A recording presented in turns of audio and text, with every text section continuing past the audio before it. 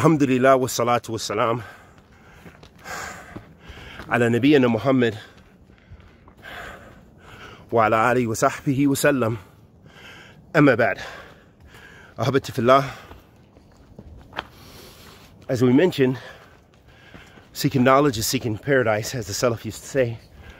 And as the Prophet ﷺ illustrated or told us, informed us, that that that is the path to paradise.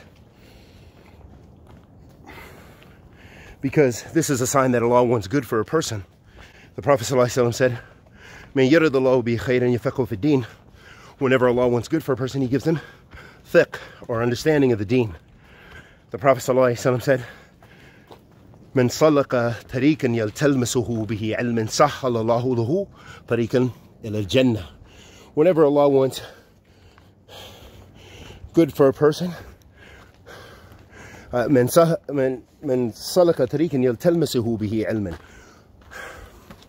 Whoever traverses the path of knowledge, Allah will make good for him the path to paradise. Make easy for him the path to paradise. So talib al-ilm is talib al-jannah. But of course that requires sincerity, ikhlas lillah. And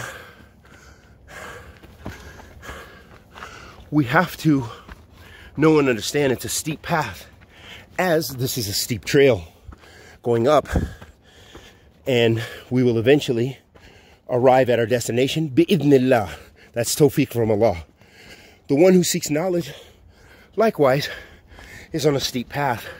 Do not think it's easy because you've acquired some wealth or just because you have a nice intention now. Because when you seek knowledge, many people are challenged with their health. Sometimes they're challenged, tried with family, deaths in the family, things that distract them from Talib and People who are not trying to reach the same goals they're trying to reach. And many things that can deter you from seeking knowledge and likewise our own sins. So what our hands possess. So that is something likewise to be cautious of on that path and journey.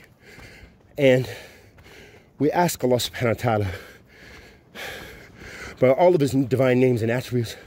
To bless us all with ilm nafiya, rizqan tayyiba, mutaqabbilan, and to bless all those brothers and sisters who are on the journey of knowledge, who are striving to come closer to Allah subhanahu wa ta'ala, that Allah blesses them to be successful in that path and to come closer to Him, Tabarak wa Ta'ala, and to be away from bid'ah, wa kufr, wa shirk, wa nifaq. Wa sallallahu wasallam ala nabiyyina Muhammad wa ala alihi wa sahbihi wa sallam.